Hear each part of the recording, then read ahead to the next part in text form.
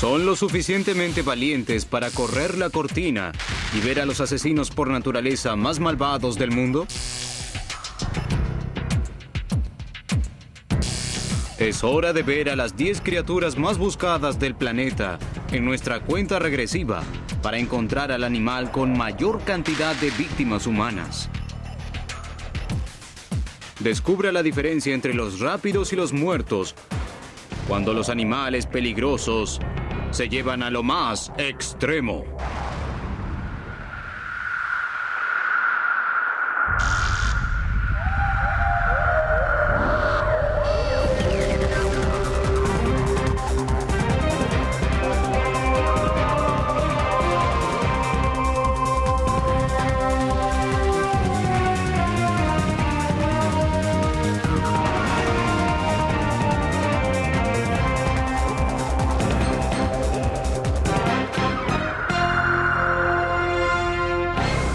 Planet al extremo. Hoy, los implacables.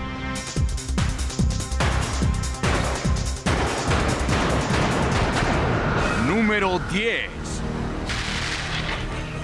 Algunos animales son verdaderos asesinos. A Hollywood le encanta transformar a estas criaturas ordinarias en monstruos de nuestras peores pesadillas. Pero al igual que los villanos del celuloide, las criaturas reales a veces asesinan gente.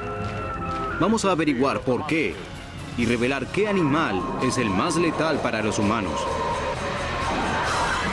Será mejor que se cuiden la espalda. ¡Monstruos increíbles! Esta noche alguien podría intentar matarlo. Nuestro primer competidor participó en una de las películas más terroríficas de la historia. La película de Steven Spielberg de 1975 se convirtió en la primera película en ganar más de 100 millones de dólares en las taquillas.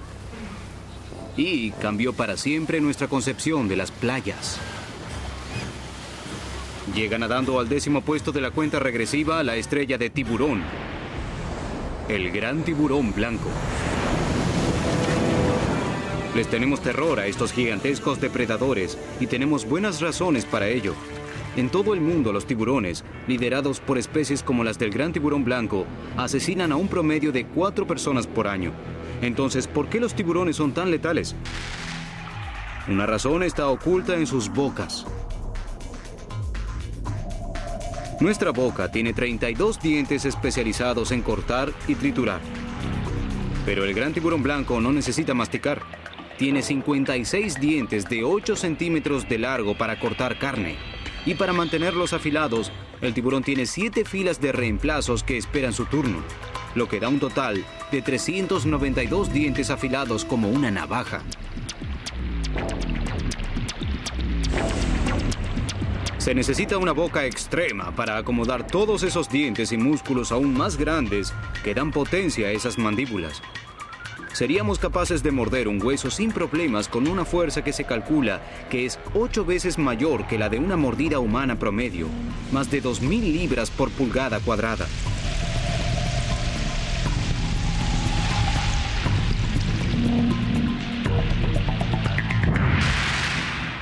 Los científicos que estudian los ataques de tiburones en la costa de Sudáfrica descubrieron que los tiburones blancos necesitan toda esa fuerza para conseguir su comida favorita.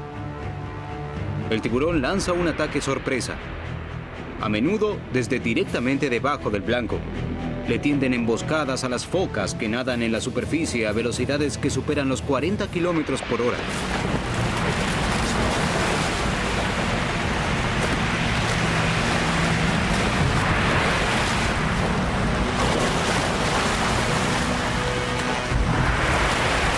Tiburones blancos pueden morder a sus víctimas hasta tres veces antes de alimentarse.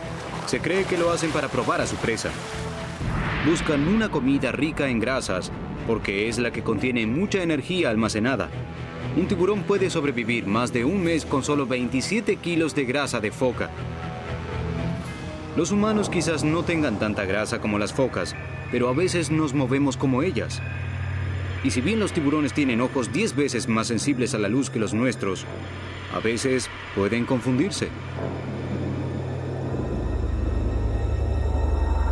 El amor de los tiburones blancos por la comida grasosa quizás sea la razón por la que en el 96% de los ataques a humanos, los tiburones solo muerden una vez. ¿Podría ser que nuestros cuerpos flacos dejen mal gusto en sus bocas? ¿Somos el equivalente de los repollitos de Bruselas para los tiburones? Si se puede sobrevivir a la primera mordida como un número sorprendente de víctimas, es posible que se vuelva a ver la luz de un nuevo día en el mar. Entonces, ¿es exagerado nuestro miedo a los tiburones? En los Estados Unidos es 200 veces más probable ahogarse en el océano que ser asesinado por un tiburón. Pero a pesar de los riesgos, algunas personas quieren pasar el tiempo en el agua, tanto vivas como muertas. Y no solo las personas. Algunas mascotas pasan la eternidad en el agua. Pregúntenle si no a Sharon y Bob Benefield. Maggie era maravillosa en el agua. Creo que le encantaba estar con los niños. No había manera de mantenerla fuera del agua. De modo que cuando Maggie, su labradora negra, murió, los Benefield decidieron que sus cenizas deberían formar parte de un monumento permanente. Arrecifes Eternos hace lápidas ecológicas mezclando los restos de un ser querido en moldes de cemento. Luego de personalizar el molde y de dejar secar el cemento al sol, el monumento está listo para su viaje final.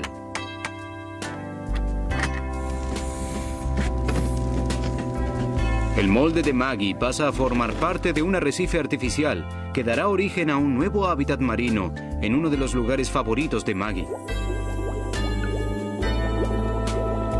Ya hay más de 200 arrecifes eternos en cuatro estados de los Estados Unidos y están diseñados para durar más de 500 años.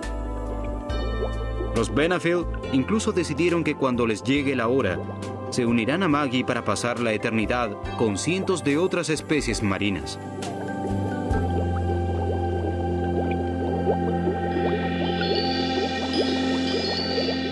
A medida que la gente pasa más tiempo bajo el agua, comenzamos a darnos cuenta de que la reputación del tiburón es peor de la que se merece. Quizás no sea el asesino salvaje que vimos en Tiburón. Y si bien nuestro próximo competidor no es una estrella de cine, es mucho más letal que el tiburón, gracias a otra mordida verdaderamente espeluznante.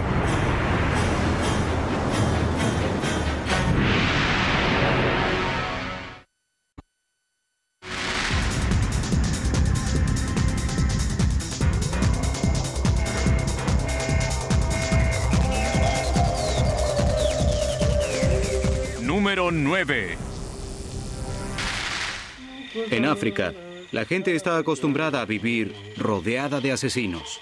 Es por eso que se necesita un animal extremo para lograr que 4.000 personas huyan de sus aldeas en Malawi. Estas personas escaparon porque en solo siete días, durante 2003, un animal mató a tres personas e hirió de gravedad a otras 16. Era la hiena.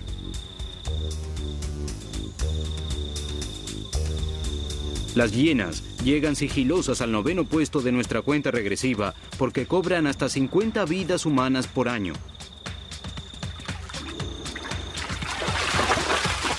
En la fría luz del día, las hienas no son los animales carroñeros cobardes que alguna vez creíamos que eran. Un estudio llevado a cabo en el Kalahari demostró que el 70% de su dieta se basa en presas que ellas mismas matan. Una sola hiena manchada puede atrapar a un ñu adulto después de perseguirlo 5 kilómetros a una velocidad de hasta 50 kilómetros por hora. Es posible que las gigantescas mandíbulas de la hiena sean las más fuertes de los mamíferos si se toma en cuenta el tamaño de su cuerpo. Necesitan toda la fuerza para cazar y masticar los 6 kilos de alimento que comen cada día. Entonces, ¿qué posibilidades tienen los humanos de escapar de un clan de animales que pueden vencer fácilmente a un león?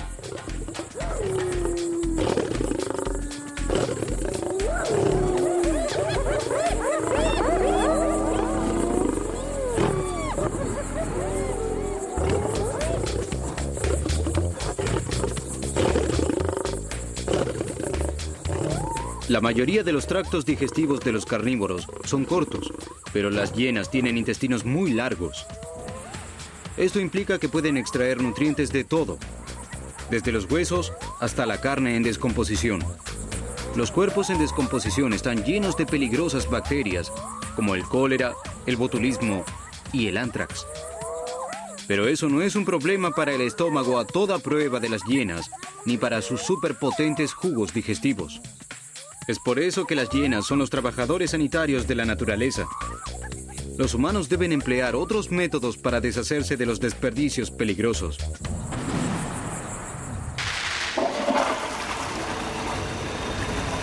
La mayoría de la gente simplemente deja correr las bacterias potencialmente nocivas y no vuelve a pensar en ellas. Las cloacas subterráneas sacan los desperdicios de nuestras vidas.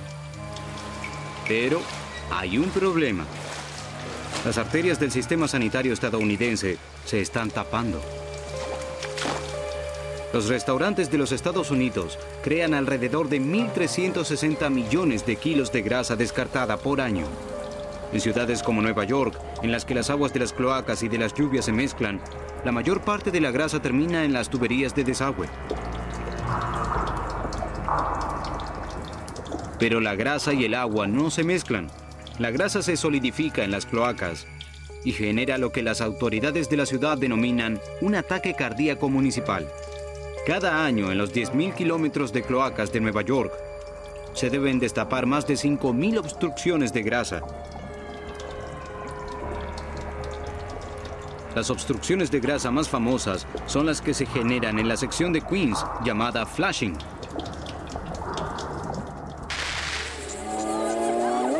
Quizás el departamento de saneamiento debería pensar en emplear a una manada de hienas.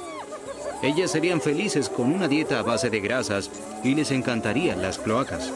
En estado salvaje suelen alimentarse de excrementos, pero que no los engañen las desagradables costumbres que la hiena tiene a la hora de comer.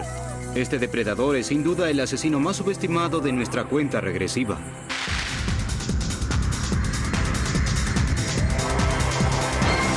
Número 8. Avanzamos con la cuenta regresiva hasta uno de los asesinos más extremos del planeta. Una criatura que realmente tiene el aguijón de la muerte.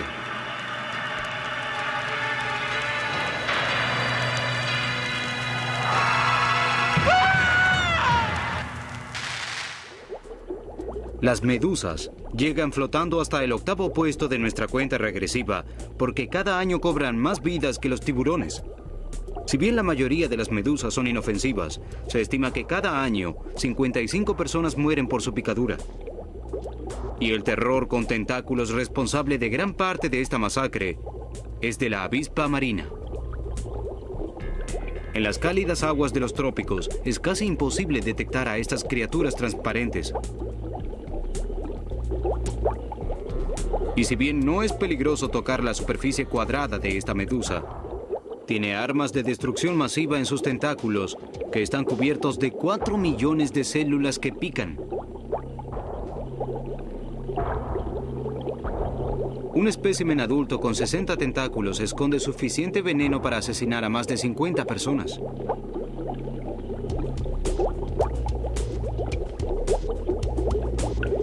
Cada célula es como un arpón diminuto que penetra la piel de su presa. Una célula tarda solo tres milésimas de segundo en desenredarse. Luego, al igual que una diminuta aguja hipodérmica, inyecta una poderosa neurotoxina.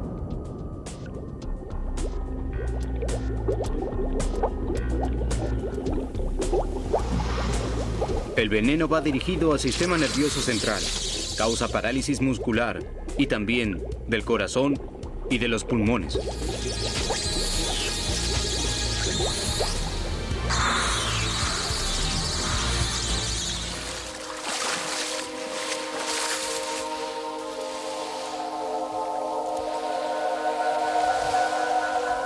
La avispa marina puede causar una muerte muy rápida.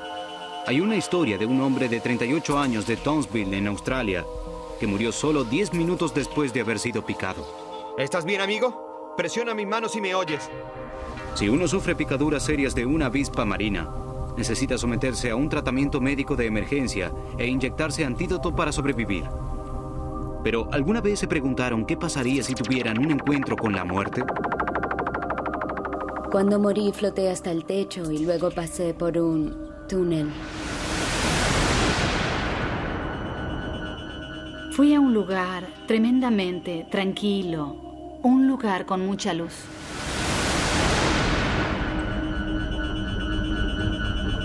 Una sensación de identidad y paz completas que desde entonces anhelo.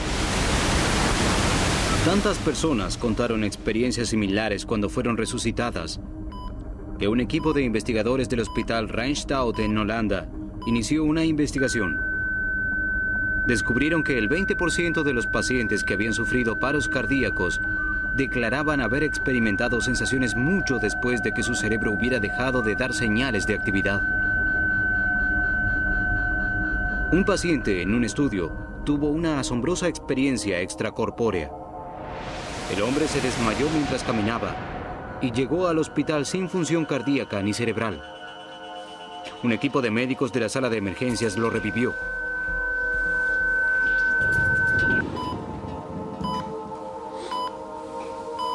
Cuando se despertó en el hospital después de una semana de estar en coma, identificó a todo el personal médico que había ayudado a revivirlo e incluso recordó dónde habían puesto su dentadura postiza. Aún así, la ciencia no tiene respuestas para explicar qué sucede en estos casos en los que clínicamente el cerebro deja de funcionar. Y no es sorprendente que pocas personas estén dispuestas a participar de la investigación sobre todo si para ello se tienen que dejar picar por una medusa. Estos asesinos son una amenaza tan grande que las autoridades australianas instalaron redes en las playas más riesgosas. Pero se necesita más que una red para escapar de nuestro próximo competidor.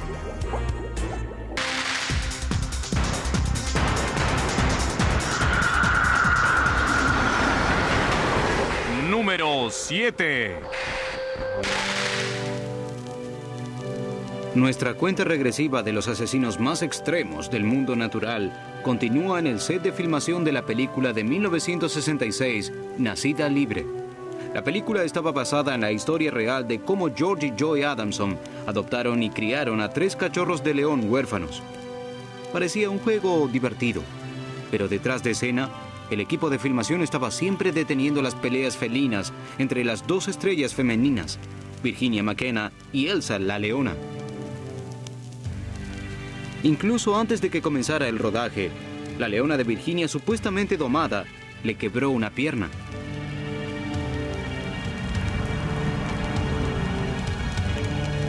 Eso demuestra lo peligroso que pueden ser estos felinos. Cada año, los felinos grandes como los leones, los tigres y los leopardos matan al menos a 80 personas en el mundo. Son depredadores especializados que tienen el tamaño y la velocidad para vencer a animales que los triplican en peso corporal. Así que matar a un ser humano es fácil.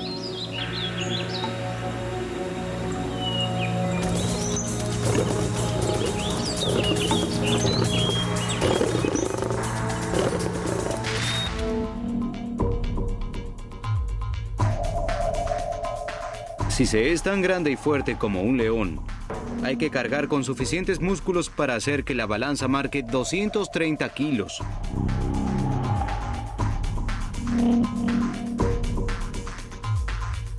Se necesita un grupo de garras afiladas de 8 centímetros. Y colmillos de 10 centímetros. Se midió que una mordida de león es de mil libras por pulgada cuadrada, más de lo suficiente para atravesar carne y tendones. Y no se puede escapar del rey de las bestias. Puede alcanzar velocidades de hasta 80 kilómetros por hora.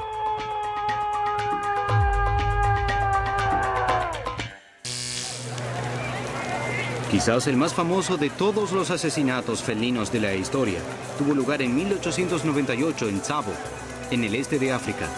La construcción de la línea ferroviaria iba tal cual había sido prevista, hasta que encontraron al reino de una manada de leones hambrientos. 29 obreros fueron asesinados en tres meses antes de que finalmente se suspendiera la construcción.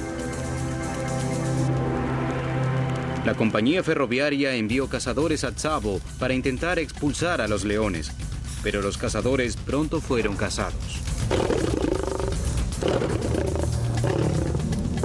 Una noche tarde, después de que los cazadores se habían retirado a sus camarotes, los leones entraron para reclamar otra víctima.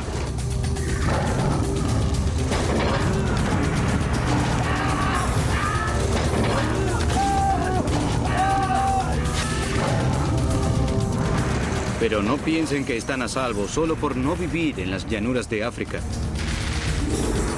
Se calcula que solo en los Estados Unidos hay alrededor de 15.000 felinos exóticos grandes. Los tigres mataron al menos a nueve personas en los últimos cinco años. Eso es solo para demostrar que los felinos grandes son muy buenos depredadores, pero muy malas mascotas.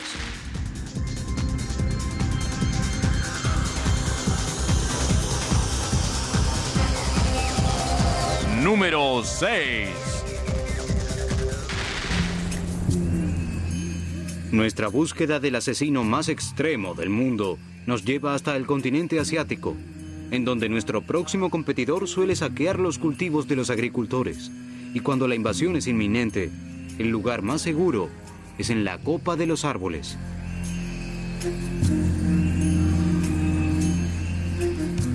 Eso se debe a que al sexto puesto de la cuenta regresiva llega con paso fuerte el elefante. No deja que nada se interponga en su camino cuando tiene esos bestiales dolores de barriga por hambre.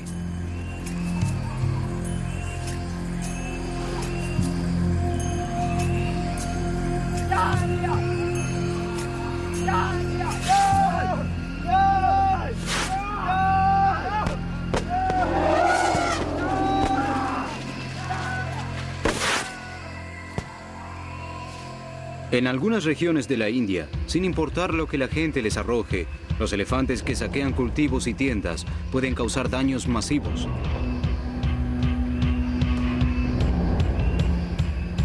Algunos machos realizan 50 saqueos por año y pueden comer un cuarto de tonelada de grano por vez.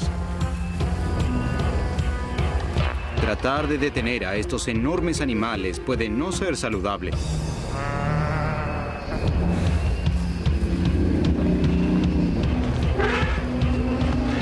Los elefantes que se sacuden de un lado a otro asesinan a un promedio de 300 personas por año, pero los machos son los responsables del 80% de las muertes. Para averiguar por qué, hay que mirar con detenimiento una glándula ubicada entre su ojo y su oreja. Dos o tres veces al año, los niveles de testosterona del macho aumentan drásticamente y la glándula chorrea una secreción rancia olorosa.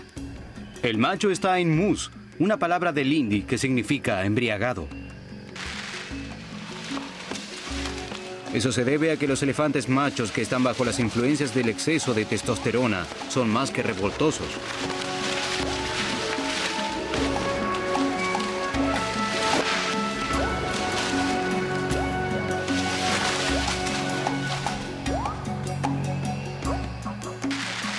Todo el que trabaja con elefantes da fe de que es conveniente mantenerse alejado cuando un macho está en mus, porque está armado de colmillos que pueden alcanzar los dos metros de longitud.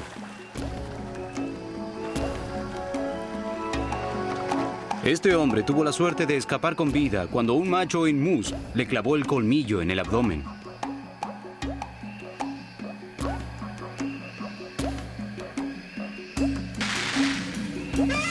El exceso de testosterona puede poner un poco nerviosos a los elefantes, pero también hay un momento en la vida de todo hombre en que las hormonas pueden ser asesinas.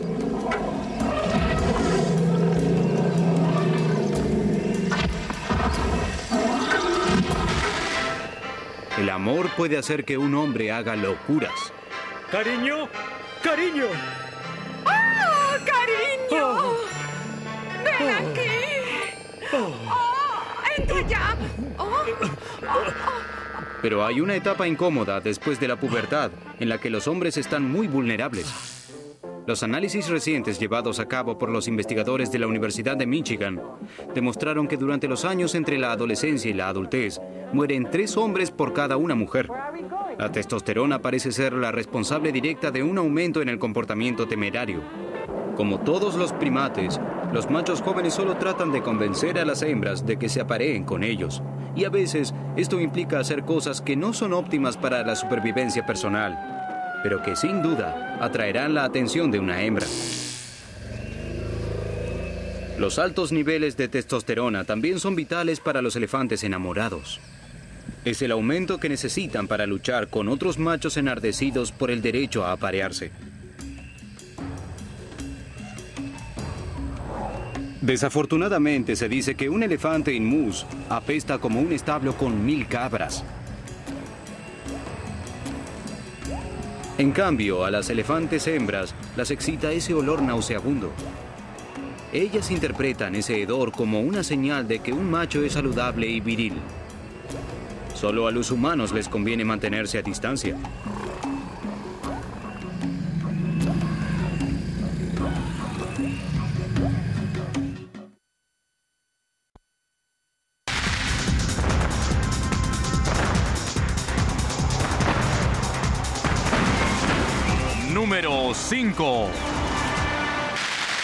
Escapamos de nuestro próximo asesino más extremo, porque el escorpión es una causa verdaderamente gigante de muerte. Ocupa el quinto puesto de nuestra cuenta regresiva porque mata hasta a mil personas por año. Pero por extraño que parezca, no hay que preocuparse por los escorpiones realmente grandes. El escorpión negro. En el Museo de Ciencias Naturales del Condado de Los Ángeles, el profesor Robert Spellman permite que los niños jueguen con el escorpión más grande del planeta. Este es el famoso escorpión emperador de África. Y al igual que la mayoría de los escorpiones, este animal tiene un aguijón en la cola. Miren el tamaño de estas pinzas. Esta es una regla con los escorpiones. Cuanto más grandes son las garras, menos tóxico es el veneno. Para encontrar a los escorpiones verdaderamente mortales, basta con viajar al desierto de Palm Springs, en California. Esperen a que caiga la noche y prendan una linterna ultravioleta. Nadie sabe con seguridad por qué los escorpiones brillan en la luz ultravioleta. Pero lo que sí sabemos es que estos escorpiones de cola gorda matan con sus aguijones venenosos. Por lo general, usan el veneno en otros escorpiones. Hoy, si un escorpión pica a alguien en los Estados Unidos, es muy probable que esa persona no muera gracias a la buena atención médica. Se tienen aún más posibilidades de no morir si el escorpión deja su aguijón en vez de matar. En vez de gastar el veneno en defensa propia, el escorpión puede inyectar un preveneno especial que causa extremo dolor. Es un gran método disuasivo y es más fácil de fabricar que el complejo cóctel de químicos que conforma el veneno verdadero y mortal. Por extraño que parezca, los científicos descubrieron que uno de los químicos del veneno del escorpión podría ayudar a las personas que padecen de glioma, una especie debilitante de cáncer de cerebro. Un equipo de investigadores de la Universidad de Alabama descubrió un complejo químico en el veneno del escorpión llamado clorotoxina, que destruye células cancerígenas. El equipo está tratando de fabricar estas clorotoxinas en el laboratorio para que algún día haya un tratamiento para los fatales gliomas. El veneno del escorpión quizás pronto ayude a salvar a tantas vidas como mata. Pero no hay cura para la picadura de nuestro próximo competidor.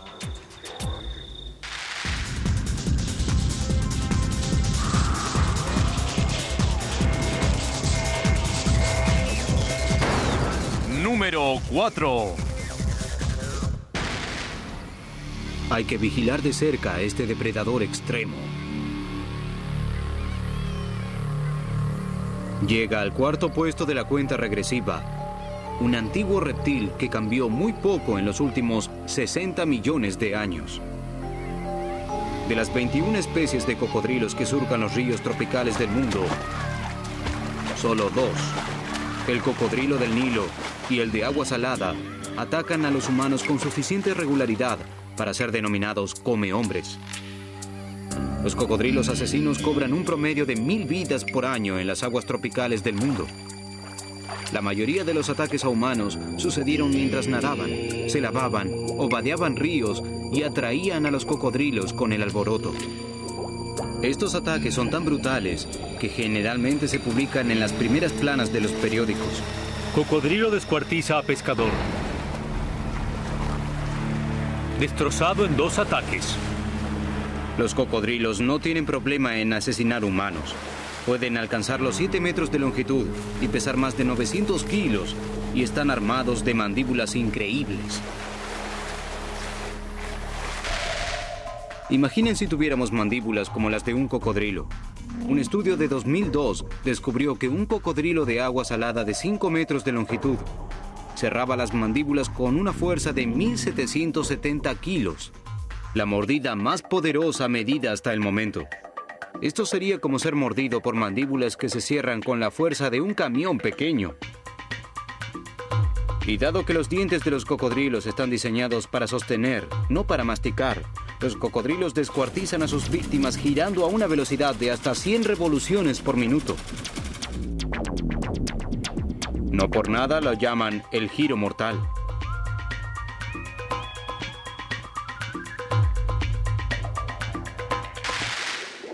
A veces el cocodrilo guarda a su víctima bajo el agua. En cuanto la presa comienza a descomponerse, es un poco más fácil descuartizarla. Es posible que una tumba acuática no sea el lugar preferido para el descanso eterno, pero hay algunas personas que tienen últimas moradas aún más extrañas. Unos fabricantes de Nottinghamshire, en Inglaterra, decidieron darle un poco de brillo a los diseños extintos.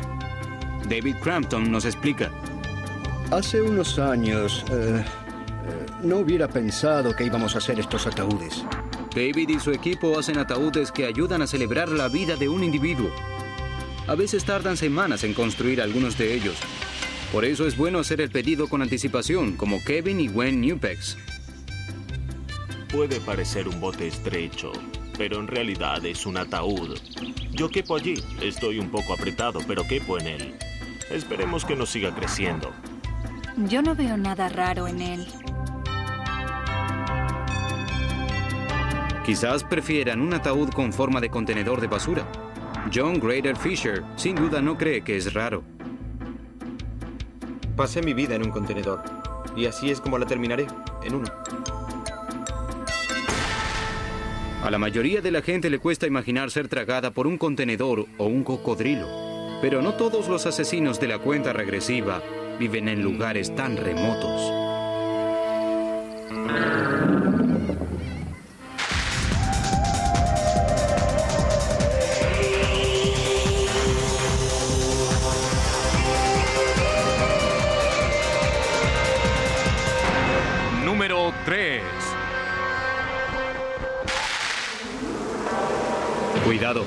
Un enjambre de asesinos está invadiendo los Estados Unidos. Pánico se apodera del mundo. Zumbando. Llegan volando al tercer puesto de nuestra cuenta regresiva. Las abejas. Las abejas africanas, para ser más precisos. La legendaria abeja asesina llegó a los Estados Unidos en 1990. Con ella llegaron también la histeria y el temor, porque todos habían escuchado que esta variedad de abeja de África era feroz. Desde su liberación accidental en Brasil, mataron a mil personas.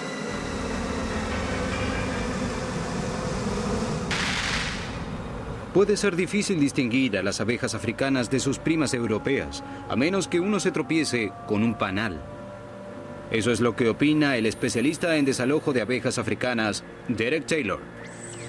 Cuando uno molesta a una reina europea, ella envía entre 20 o 30 abejas a atacar. Estas pican a corta distancia, la africana envía la mitad de la colonia. Cuando hay colonias descomunales como estas, hay momentos en que puede haber 30.000 abejas en el aire. Hay suficiente veneno en mil aguijones para matar a un ser humano. Es por eso que las personas están tan ansiosas por quitar los panales de africanas de sus patios.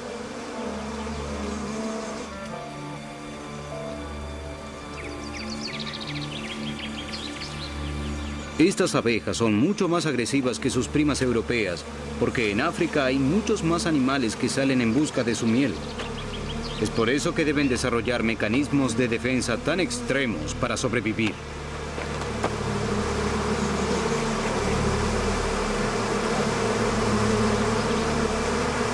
Pero las abejas europeas pueden ser igualmente letales.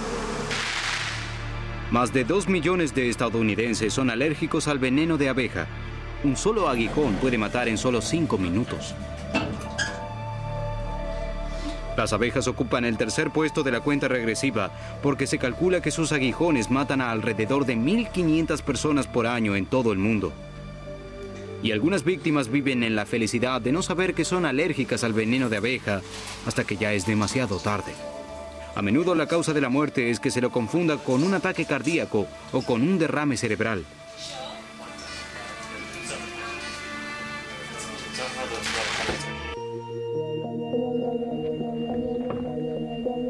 A veces es difícil determinar la causa exacta de la muerte. Es por eso que un número cada vez mayor de agencias de policía están contratando a una nueva raza de investigadores. Era el establo del caballo.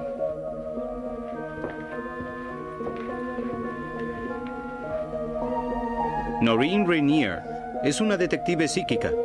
Ella asegura poder reconstruir la escena del crimen usando una técnica llamada psicometría. Comenzaré tocando un poco la brida. La psicometría consiste en tocar un elemento y recibir impresiones de él. Yo veo imágenes en mi cabeza.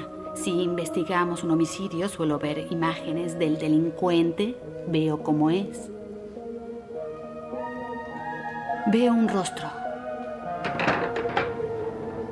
Veo un rostro oval, ovalado. Noreen traduce su información al retratista de la policía, que hace un retrato del delincuente basado en la descripción de Noreen. Gafas. El cabello es un poco negro, tirado hacia atrás.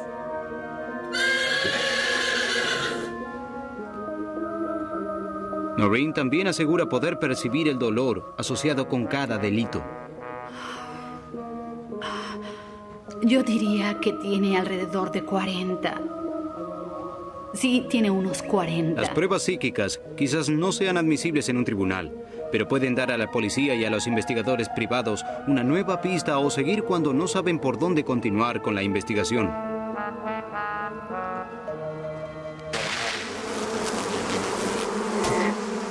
Si bien puede ser difícil detectar una picadura de abeja, es fácil ver qué sucede cuando se piden refuerzos. Pero ni siquiera el terror relacionado con las abejas asesinas puede compararse con el miedo y el odio que sentimos por el próximo animal mortal de la cuenta regresiva.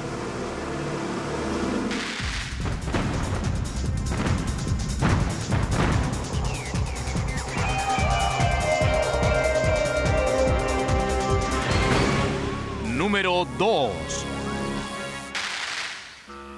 Nuestro próximo asesino extremo podría estar reptando en un vecindario cercano al suyo. Las serpientes ocupan el segundo puesto de la cuenta regresiva, porque según la Organización Mundial de la Salud, matan a un promedio de 40.000 personas cada año.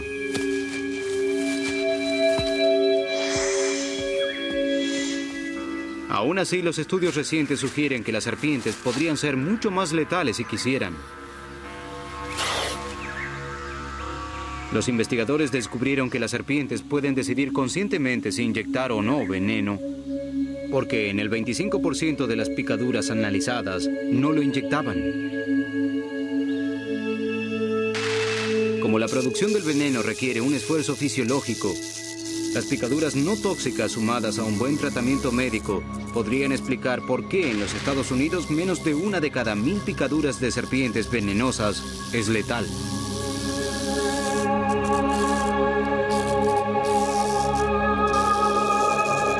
Pero las personas no son las únicas que sufren las picaduras de las serpientes.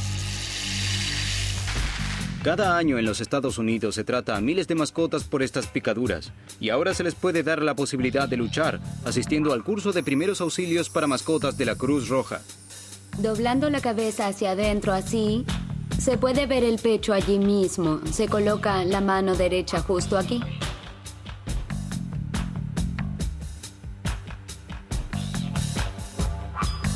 Se calcula que alrededor del 20% de los perros y gatos que son mordidos por serpientes mueren. Pero aprendiendo lo esencial de primeros auxilios y de respiración boca o hocico, aumentan las posibilidades de que la mascota sobreviva. La triste realidad es que las serpientes no deberían ser asesinos tan extremos. Son más letales en países en los que no se usa calzado y en los que no hay una buena atención médica. Pero todavía nos queda por ver a un animal que muerde a la gente en todo el mundo y no mata por miles, sino por millones. We've seen the nine contenders. They're the deadliest creatures in the world. Only one animal is a more extreme killing machine. It's number one, and it's coming up next on the most extreme.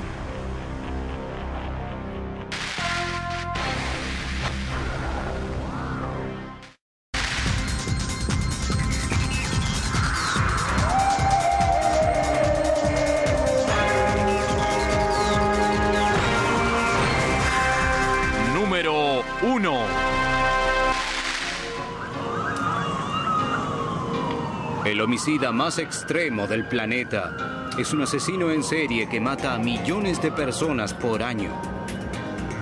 No cabe duda de que es el enemigo público número uno y tiene un perfil delictivo muy poco frecuente.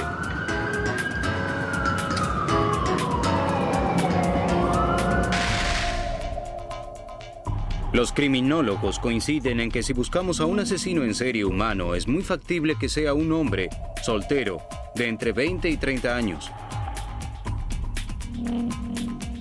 Bien, el perfil de nuestro asesino más extremo no podría ser más diferente. Buscamos a una hembra adulta. Está preñada y su sed de sangre duplicará el tamaño de su cuerpo. Sus armas son una especie de navaja suiza letal. Tiene hojas para cortar, una aguja hipodérmica para inyectar saliva y una manguera aspiradora para succionar sangre. Sería una espeluznante femme fatal si tuviera más de un centímetro y medio de longitud.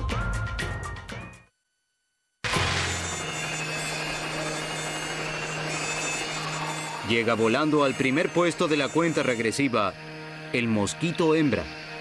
Según la Organización Mundial de la Salud, cada año mata alrededor de 2.700.000 personas. Pero este no es un homicidio premeditado. El mosquito hembra solo busca su comida de sangre para alimentar a su cría por nacer.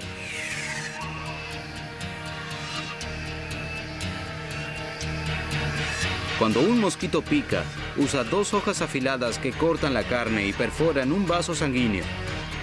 Luego, un tubo hueco succiona sangre, mientras el otro inyecta saliva que contiene un anticoagulante que evita que la sangre deje de fluir. Y aquí es donde comienza el problema. Desafortunadamente, la saliva también puede transportar pasajeros, parásitos que se alimentan de la hemoglobina de nuestros glóbulos rojos.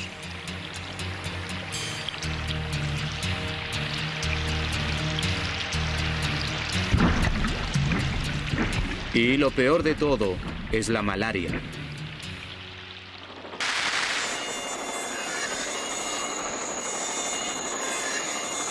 Los primeros síntomas de la malaria se presentan de 10 días a 4 semanas después de que ha sido infectado. Algunos de ellos son fiebre, dolores de cabeza y náuseas. La malaria es el mayor asesino de la historia del hombre, más letal que todas las guerras mundiales y las hambrunas juntas.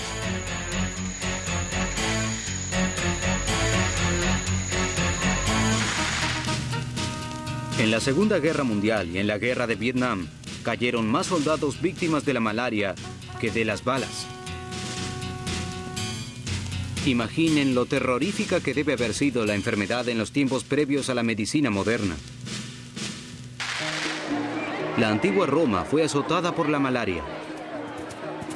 Los romanos pensaban que la enfermedad estaba relacionada con una terrible diosa, una bruja muy poco atractiva, con un estómago protuberante y el vaso inflamado típico de una paciente de malaria crónica. Si bien los romanos no relacionaban la malaria con los mosquitos, sí relacionaban la enfermedad con las ciénagas y los terrenos pantanosos en los que los mosquitos se reproducían. Pensaban que era el aire estancado el que causaba la malaria. De hecho, las palabras de los romanos para el aire malo era mal aria.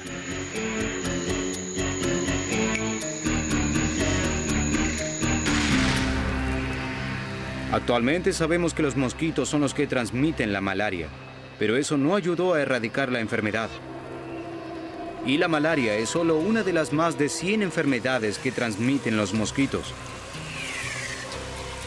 2.500 millones de personas viven en áreas en que los mosquitos transmiten enfermedades endémicas. Hay buenas razones para temer a este asesino en miniatura. Sobre todo porque el número de mosquitos inmunes a los pesticidas está aumentando.